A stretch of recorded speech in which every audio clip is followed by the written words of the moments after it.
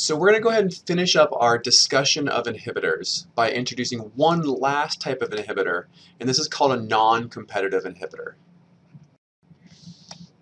Okay, so non-competitive inhibitors are really similar to uncompetitive inhibitors in the sense that they bind to a spot on the enzyme that's distinct from the active site, right? So here's our enzyme, here's the active site where our substrate binds.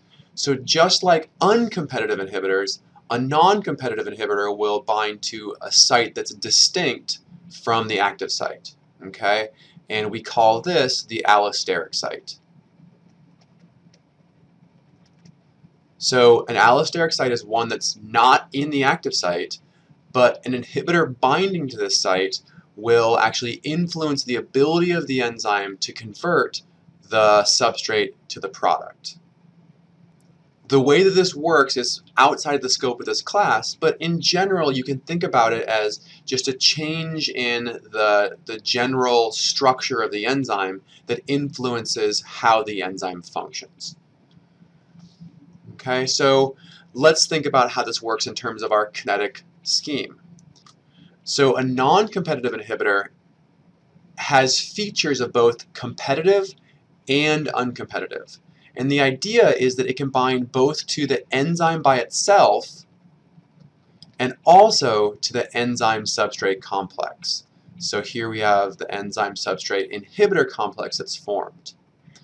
Okay, and the special requirement for non-competitive inhibitors is that it will bind to either of these, the enzyme or the enzyme substrate complex, with the same affinity.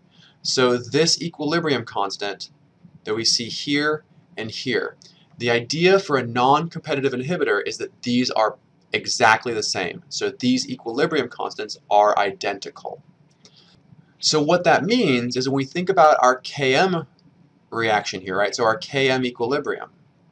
This equilibrium is not going to be changed because the inhibitor affects both sides of the equilibrium equal. There's equal pull on the reactant side as there is on the product side. So we don't see a change in Km. So Km remains unchanged. Vmax, however, does change.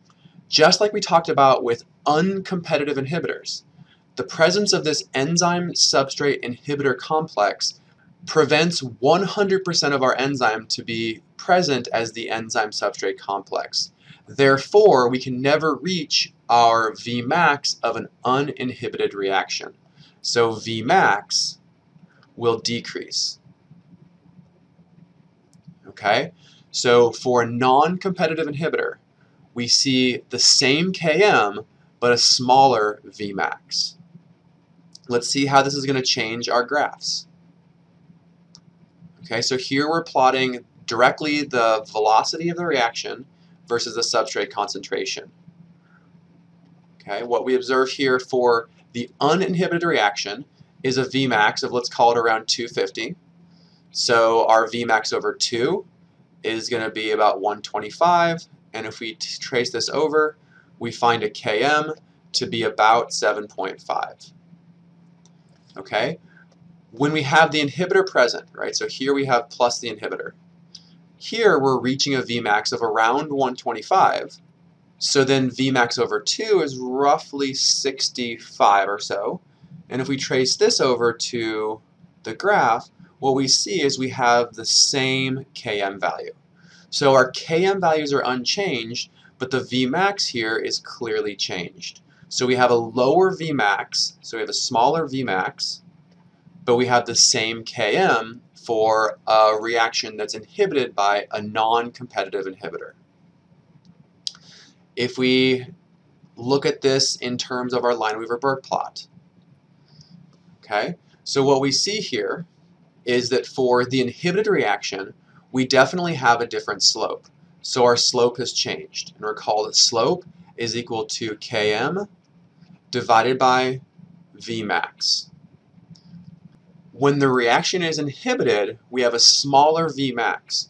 So Vmax is smaller for the inhibited reaction meaning that the slope is going to be larger. So for our inhibited reaction here, we see a steeper slope because we have a smaller Vmax. So here's the interesting part though, is that if we trace these two lines all the way back to the x-intercept, so we intercept the x-axis about here, and for this one we also intercept the same spot. So for these two graphs, our x-intercept is the same.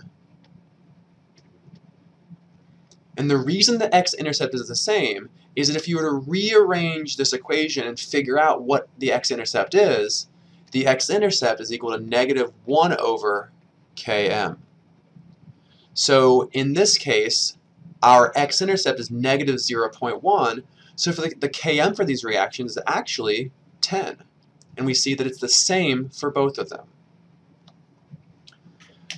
So this brings us to the end of a discussion of the different types of inhibitors. As a review, we discussed competitive inhibitors, which we said had an increased Km, but no change in Vmax, so no change in Vmax. We had uncompetitive inhibitors, where we saw a decrease in Km and a decrease in Vmax. These inhibitors are very rare.